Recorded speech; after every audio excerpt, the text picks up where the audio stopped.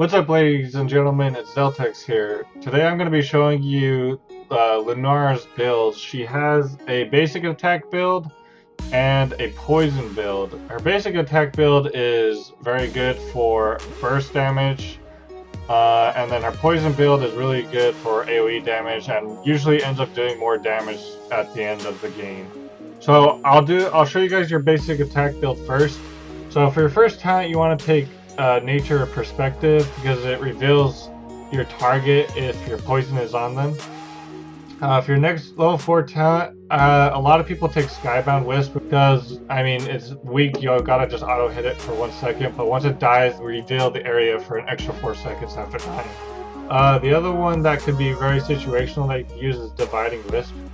Uh, for your level 7 talent, you want to take Wild Vigor uh, it increases your next four basic attacks by 50%. For your level 10 talent, I like to take Leaping Strike. It helps keep on top of the enemies so you could really use your basic attack damage to your advantage.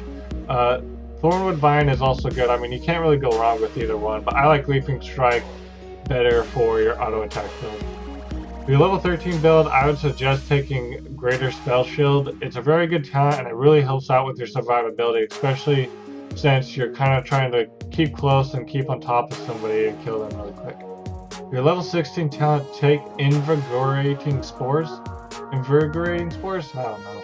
But take that because it increases your attack speed by 50% for 6 seconds.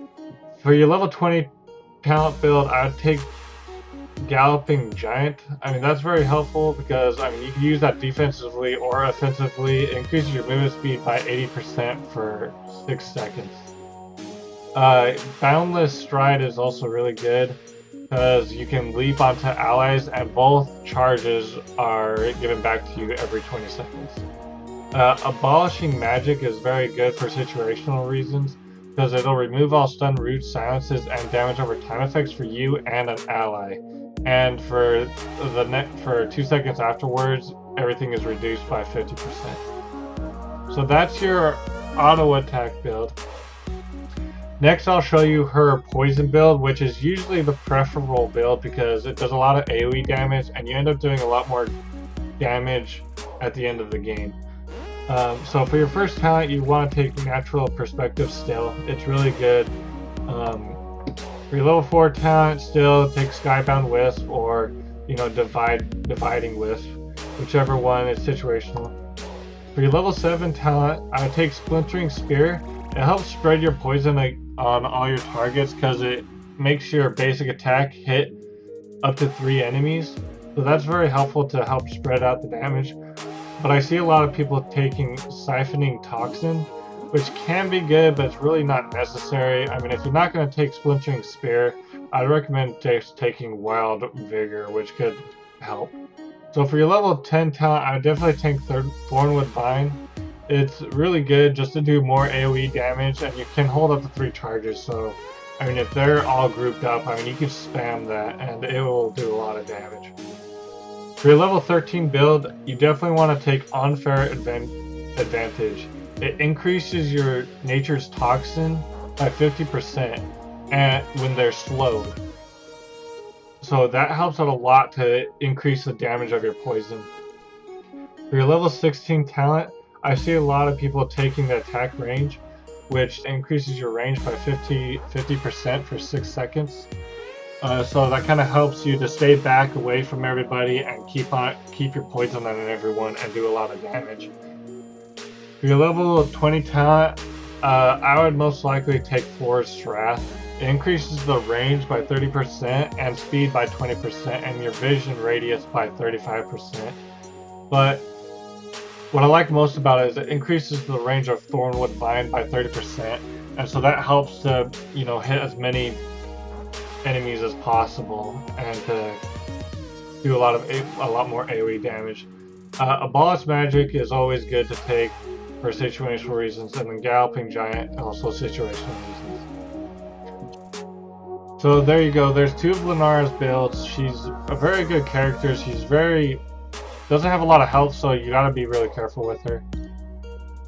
But she has 20% increased movement speed at all times, which really helps. Now, I'll show you highlights of two gameplay videos of her basic attack build and her poison build. So for this match, I'm going to do the auto attack build.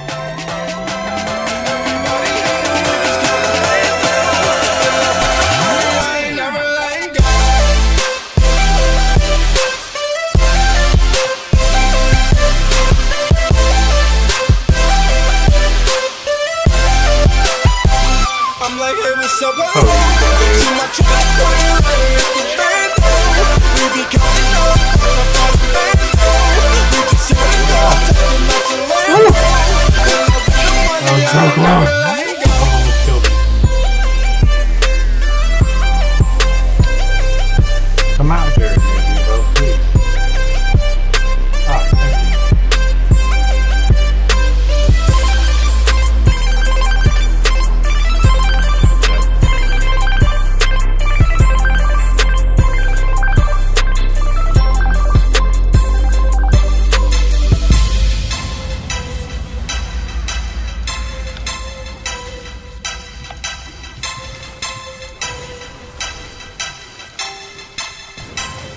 like, hey, what's up, hello?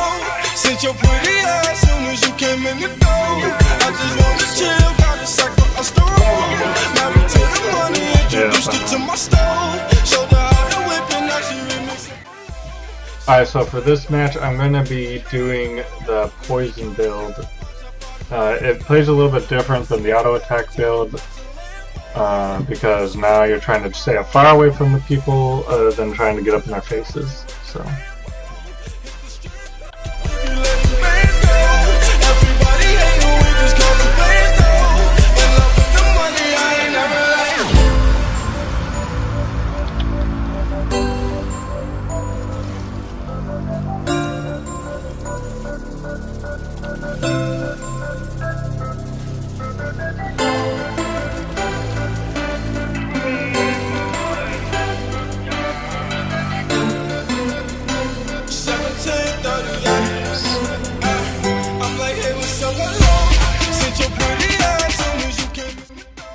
Alright, there you guys go. I hope you guys liked the video. Uh, please give me a like and subscribe and all that good stuff if you want to see content like this. I'll do all sorts of games. I'm not just focused on Heroes of the Storm. I like to play Blade and Soul, which I like to make videos for that, and a couple other games I'll uh, get video ads out for you guys. So, thanks for watching. This is Zeltex, and I'll see you later.